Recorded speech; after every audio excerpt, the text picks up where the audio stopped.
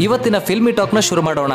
ನಟ ವಸಿಷ್ಠ ಸಿಂಹ ನಾಯಕರಾಗಿರುವ ಕಾಲಚಕ್ರ ಚಿತ್ರ ಮಲಯಾಳಂನಲ್ಲೂ ನಿರ್ಮಾಣ ಆಗ್ತಿದೆ. ಮಲಯಾಳಂ ಚಿತ್ರರಂಗದ ಖ್ಯಾತ ನಿರ್ಮಾಪಕರೊಬ್ರು ಕಾಲಚಕ್ರ ಚಿತ್ರದ ಕತೆ ಕೇಳಿ ತುಂಬಾ ಇಷ್ಟಪಟ್ಟು ಮಲಯಾಳಂನಲ್ಲೂ ಈ ಚಿತ್ರ ಮಾಡ್ತಿದ್ದಾರೆ. ಈ ಚಿತ್ರ ಇನ್ನೂ ರಿಲೀಸ್ ಆಗಿಲ್ಲ. ಆಗ್ಲೇ ರೀಮೇಕ್ ಆಗ್ತಿರೋದು ಒಂದು ಒಳ್ಳೆ ಬೆಳವಣಿಗೆ ಅಂತ ಹೇಳ್ಬೋದು. ನಿರ್ದೇಶಕ ಮನ್ಸೂರ್ ಅವರ ಮೂರನೇ cinema, Act nineteen seventy eight cinema ನವೆಂಬರ್ನಲ್ಲಿ ಬಿಡುಗಡೆ ಆಗ್ತಿದೆ. ಹೆಸರಾಂತ ಕಲಾವಿದರು ನಟಿಸಿರುವ ಈ ಸಿನಿಮಾ ಕೊರೋನಾ ಆತಂಕದ ನಡುವೆಯೂ ಬಿಡುಗಡೆ ಆಗ್ತಿದೆ. ಮೊದಲ ಬಾರಿಗೆ ರಿಲೀಸ್ ಆಗ್ತಿರುವ ಈ ಸಿನಿಮಾ ಬೇರೆ ಹೊಸ ಸಿನಿಮಾಗಳಿಗೆ ರಿಲೀಸ್ ಮಾಡಲು ಧೈರ್ಯ ತುಂಬಬಲ್ಲದು. ಹಿರಿಯ ನಟ, ಸಿನಿಮಾ ಪತ್ರಕರ್ತ ಸಾಹಿತಿ ಕೃಷ್ಣ ನಾಡಿಗ್ ಅವರು ಹೃದಯಘಾತದಿಂದ ನಿಧನ ಹೊಂದಿದ್ದಾರೆ. ಅವರ ಆತ್ಮಕ್ಕೆ ಶಾಂತಿ ಸಿಗಲಿ. ಸತೀಶ್ ನಿನಾಸಂ ಅವರು ಗೋದ್ರಾ ಅನ್ನೋ ಸಿನಿಮಾ ಮಾಡಿರೋದ್ರ ಬಗ್ಗೆ ನಿಮಗೆಲ್ಲ ಗೊತ್ತು. ಆದರೆ ಮೊದಲ ಬಾರಿಗೆ ಸೆನ್ಸಾರ್ ಮಂಡಳಿ ಈ ಚಿತ್ರಕ್ಕೆ ಹೆಸರು ಬದಲಾಯಿಸುವಂತೆ ಸೂಚನೆ ನೀಡಿದೆ. ಈ ಬಗ್ಗೆ ಸತೀಶ್ ನಿನಾಸಂ ಅವರು ತಮ್ಮ ಸೋಷಿಯಲ್ ಮೀಡಿಯಾದಲ್ಲಿ ನಾಲ್ಕು ಆಪ್ಷನ್ಸ್ ಕೊಟ್ಟು ಸಿನಿಮಾದ ಹೆಸರು ಯಾವ್ದಿದ್ರೆ ಚೆನ್ನಾಗಿರುತ್ತೆ ಅಂತ ಅಭಿಮಾನಿಗಳಿಗೆ ಕೇಳಿದ್ರು. ಆದ್ರೆ ಈ ಬಗ್ಗೆ ಇನ್ನೂ ಫರ್ದರ್ ಅಪ್ಡೇಟ್ ಬಂದಿಲ್ಲ. ಮನರೂಪ ಅನ್ನೋ ಕನ್ನಡ ಸಿನಿಮಾ ಇಂಗ್ಲೆಂಡಲ್ಲಿ ನಡೀತಿರೋ ನಾಲ್ಕನೇ ಅಂತಾರಾಷ್ಟ್ರೀಯ ಚಲನಚಿತ್ರೋತ್ಸವಕ್ಕೆ ಆಯ್ಕೆಯಾಗಿದೆ. ಉತ್ತಮ ಥ್ರಿಲ್ಲರ್ ವಿಭಾಗದಲ್ಲಿ ಈ ಚಿತ್ರ ಫೈನಲ್ ರೌಂಡ್ಗೆ ತಲುಪಿದೆ. ಚಿರಂಜೀವಿ ಸರ್ಜಾ ಹುಟ್ಟುಹಬ್ಬದಂದು ಧ್ರುವ ಸರ್ಜಾ ತಮ್ಮ ಹೊಸ ಸಿನಿಮಾನ ಆರಂಭಿಸಿದ್ದಾರೆ.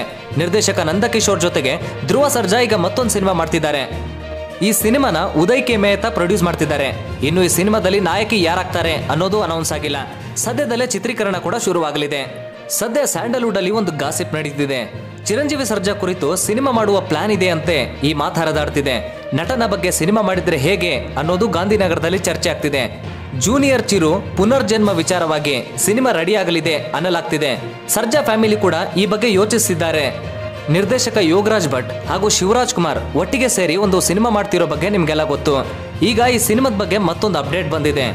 ಯೋಗರಾಜ್ ಭಟ್ ಅಂತಂದ್ರೆ ಅವ್ರ ಸಿನಿಮಾಗಳು ವಿಶಿಷ್ಟವಾಗಿರ್ತವೆ. ಹಾಗೆ ಹಲವು ಹಿಟ್ ಸಿನಿಮಾಗಳನ್ನು ನೀಡಿದ್ದಾರೆ. ಇನ್ನು ಶಿವರಾಜ್ ಕುಮಾರ್ ಬಗ್ಗೆ ಹೇಳೋದೇನಿಲ್ಲ. ಅವರು ಸೆಂಚುರಿ ಸ್ಟಾರ್. ಈ ಜೋಡಿ ಜೊತೆಗೆ ಮತ್ತೊಬ್ಬರು ಈ ಸಿನಿಮಾದಲ್ಲಿ ಆಡ್ ಆಗಿದ್ದಾರೆ. ಇಂಡಿಯನ್ ಮೈಕಲ್ ಜಾಕ್ಸನ್ ಅಂತ ಹೆಸರು ಮಾಡಿರುವ ಪ್ರಭುದೇವ ಈ ಸಿನಿಮಾದಲ್ಲಿ ಆಕ್ಟ್ ಮಾಡ್ತಿದ್ದಾರೆ. ಈ ಚಿತ್ರದ ಮೂಲಕ ಪ್ರಭುದೇವ ಕನ್ನಡಕ್ಕೆ ರೀ ಎಂಟ್ರಿ ಆಗ್ತಿದ್ದಾರೆ. ಪವರ್ ಸ್ಟಾರ್ ಪುನೀತ್ ರಾಜ್ಕುಮಾರ್ ಅಭಿನಯದ ಜೇಮ್ಸ್ ಸಿನಿಮಾದ ಚಿತ್ರೀಕರಣ ಗಂಗಾವತಿ ತಾಲೂಕಿನ ಮಲ್ಲಾಪುರ ಗ್ರಾಮದ ಹೊರವಲಯದಲ್ಲಿ ನಡೀತಿದೆ. ಚಿತ್ರದ ಫೈಟ್ ಸನ್ನಿವೇಶನ ಇಲ್ಲಿ ಶೂಟ್ ಮಾಡ್ತಿದ್ದಾರೆ. ಕಳೆದ ಒಂದು ವಾರದಿಂದ ಎಲ್ಲ ಸಿದ್ಧತೆ ಮಾಡಿಕೊಳ್ಳಲಾಗ್ತಿತ್ತು.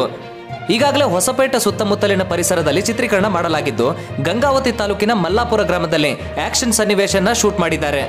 ನಟಿ ರಾಧಿಕಾ ಪಂಡಿತ್ ತಮ್ಮ ಇನ್ಸ್ಟಾಗ್ರಾಮ್ ಅಲ್ಲಿ ಅವ್ರ ಮಗಳು ಆಯ್ರಾ ಯಶ್ ಹಾಡಾಡಿರೋ ಒಂದು ವಿಡಿಯೋನ ಬಿಟ್ಟಿದ್ದಾರೆ. ಆ ಕ್ಲಿಪ್ ನೋಡ್ಕೊಂಡು ಬನ್ನಿ.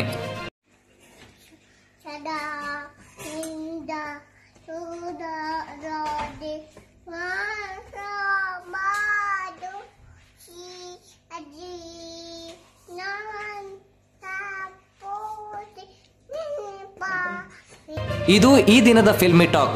ಇಷ್ಟ ಆಗಿದ್ರೆ ಲೈಕ್ ಮಾಡಿ, ಕನ್ನಡ ಫಿಲ್ಮೋಲಜಿಗೆ ಸಬ್ಸ್ಕ್ರೈಬ್ ಮಾಡಿ, ಬೆಲ್ ಐಕಾನ್ ಕ್ಲಿಕ್ ಮಾಡಿ ನೋಟಿಫಿಕೇಶನ್ ಆನ್ ಮಾಡ್ಕೊಳ್ಳಿ.